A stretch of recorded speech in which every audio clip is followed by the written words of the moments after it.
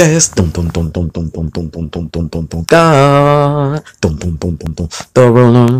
What's good, sir? Man, everything good, man. I'm alive and I'm breathing, you know? Oh, yeah. Yes, sir. Hey, man, uh, I met you a couple weeks ago, right? And uh, ever since then, man, we done formed a man, an admirable bond and things, man, over this here game that we uh, facilitate over, should I say. Uh, would you like to introduce yourself to the people and let them know who you are?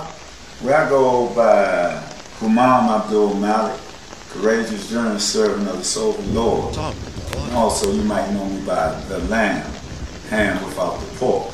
Sounds of pork. And the reason I go by that, you will have to find that out yourself.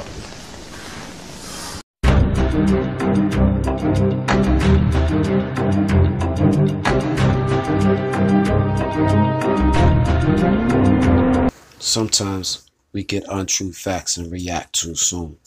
Chaos.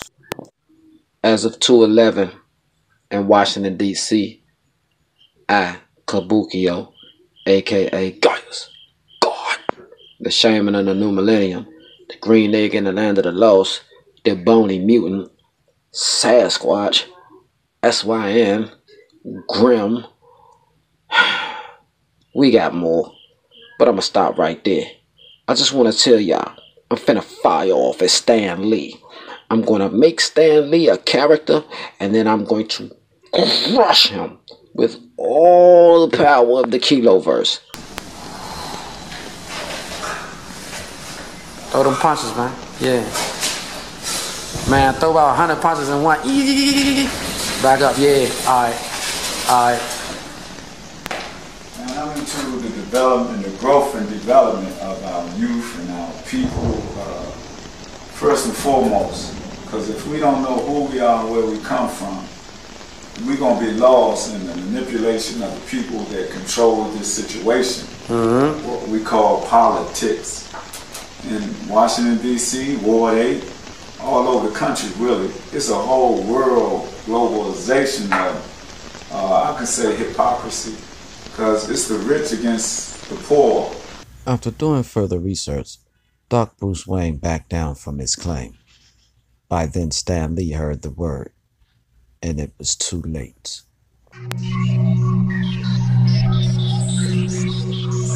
Digitone. Guys.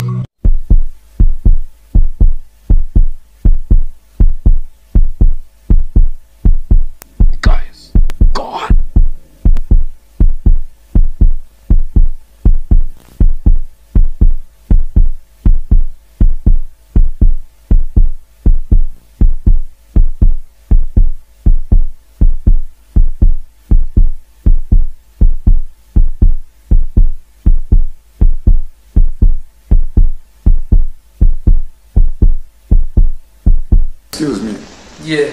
Oh, Odeo. Yeah. They say, man, a lot of things about you that I didn't know. Could you tell me something about yourself? Man, I'm black. And I'm proud, bruh. But what, what are you looking for? Man, I'm looking like for what you're doing in this community for our children, man. What I'm doing in the community for the children is working on building, building a strong, solidified project of hope, if you would say. Everything that I've done since I was since I was a child, I've written it down. I'm ready to formulate it into business aspects to push it out here for the world. And that, my brother, is for my community. There they can see a young brother lead by example. A lot of them, the, uh, the youth within the community already know my struggles.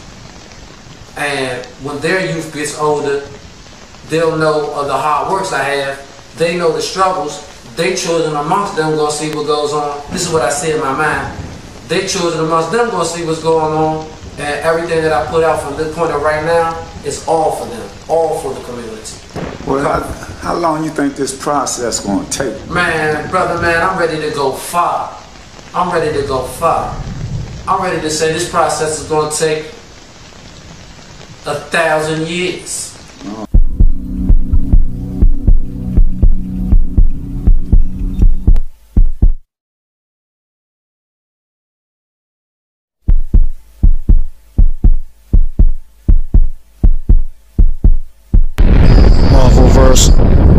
Draw!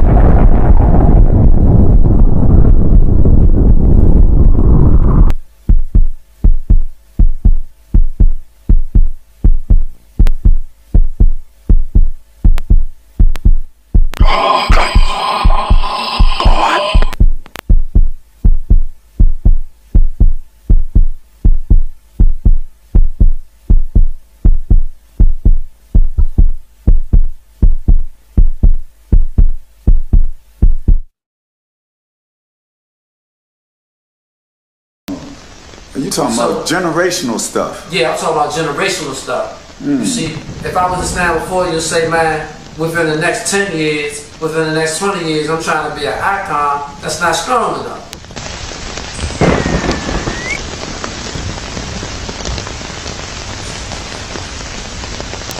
Ills for low. We don't shoot guns. I need to know that my work is working after I'm in the grave. Where you get this information from, Mr. ODO? Save rap, save the future.